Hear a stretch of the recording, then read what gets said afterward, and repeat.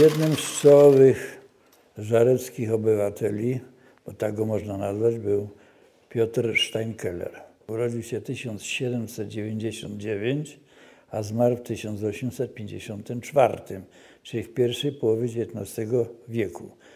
Rodzina, wbrew nazwisku, które by sugerowało pochodzenie żydowskie, była to rodzina z Pomorza, która w wyniku reformacji przeniosła się do Austrii, z Austrii do Czech, z Czech do Krakowa i stamtąd dopiero do kongresówki, czyli do Królestwa Polskiego Kongresowego z 1815 roku. Chwilą, kiedy przybył Steinkeller, to właśnie żarki wyszły z wegetacji do rozwoju przemysłowego, co bardzo istotną rzeczą było, pośrednim skutkiem poczynań gospodarczych Steinkellera na terenie Żarek było przeobrażenie w strukturze ludności miasteczka. Przybrało ono charakter handlowo-przemysłowy, a znaczna część mieszkańców w zakładach żareckich bądź żyła z rzemiosła oraz handlu, obsługując zwiększone potrzeby uprzemysławiającego się regionu. Miasto zyskało podwójnie. Po pierwsze ruszyło coś, to były te zakłady, potem zostały inne zakłady dobudowane. Ludność żyła, a przede wszystkim ludność żydowska żyła z pracy rąk, a maszyna do szycia to, była, to był postęp niesamowity. Wszystko było ręcznie szyte. Co to znaczyło? To znaczyło, że duża ilość ludzi mogła, musiała się tym zajmować, żeby oprzeć tych wszystkich, którzy, którzy funkcjonowali, mieszkali w tym, w, tej, w tym miasteczku i w tej okolicy. I wśród tych, tego rzemiosła, na przykład u nas w Żarkach, w tym naszym muzeum, brakuje tego jednego fragmentu, maszyny do szycia. Krawiectwo to było rzemiosło, w którym spora liczba ludzi pracowała. Krótko, moja rodzina jest z Wielkopolski.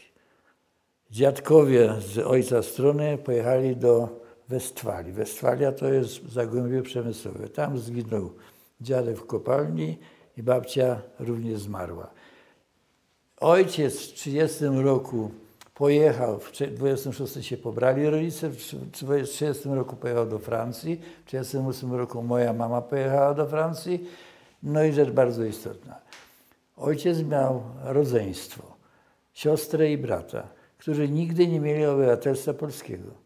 Ojciec w 1914 roku przyjechał, pod nas stała Polska, automat u nas w Wielkopolsce był taki, automat wszyscy są Polakami, chyba że zadeklarował, że jest Niemcem. Jak przyjechał do, do Francji, Niemcy napadli na Francję, a myśmy mieszkali 15 km od Luksemburga, to wtedy się okazało, że chcą, żeby ojca przymusić, by przyjął obywatelstwo niemieckie. Ojciec się nie zgodził. W związku z tym do ośrodka, do, do obozu pracy go wetknęli, ponieważ był górnikiem, no to, a tam było zagłębie górnicze, czyli do kopalni. Poszedł pracować do kopalni. Przed II wojną światową mama, rodzice, o tak będzie jeszcze, wzięli na kredyt, czyli na raty maszynę do szycia, nazywa się Killer, to nie jest ta maszyna. Przez cały okres II wojny światowej, jak ojciec siedział w obozie pracy, to mama na tej maszynie utrzymywała rodzinę. A było dwóch starszych, ja, a w 1945 urodził się najmłodszy brat. Po wojnie jeszcze spłacano we Francji ten dług, ten, ten, ten, tą ratę za, za tą maszynę. Maszyna była niesamowicie istotnym elementem. Po pierwsze, dlatego, że pozwoliła nam przeżyć. To jest jedna rzecz, tą wojnę.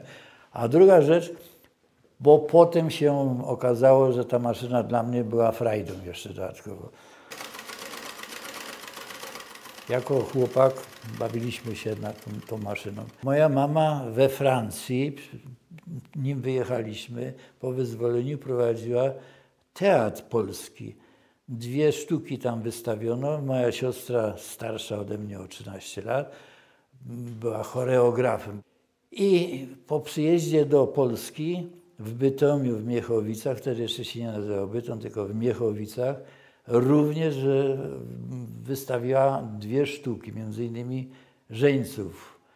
I rzecz bardzo istotna, i to jest ten fragmencik z maszyną związany, mama prowadziła i, i ja byłem roznosicielem zaproszeń a to było w postaci, postaci biletów.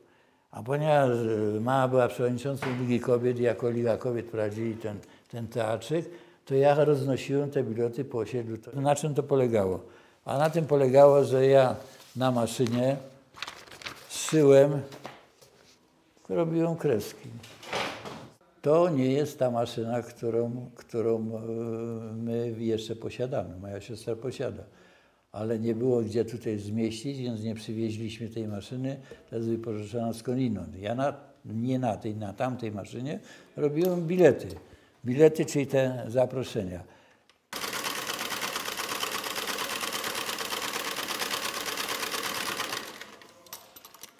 No i teraz mamy tu przeszyte dziurki. Można je rozerwać na tych dziurkach. O, o widzicie? I tutaj jest gdzieś, a, nie widzę, udaję młodego. A tu, o właśnie, o. I to był bilet. Tu była, tu była pieczątka. Liga Kobiet. Bo jak ja się ożeniłem, to ja jestem jedynym w rodzinie, który, który umie szyć na maszynie. Ja obszywałem dzieci wszystkie i tak się nawet złożyło, że, że się przychlibić mojej małżonce w tych pierwszych miesiącach naszego pożycia, to uszyłem jej garsonkę.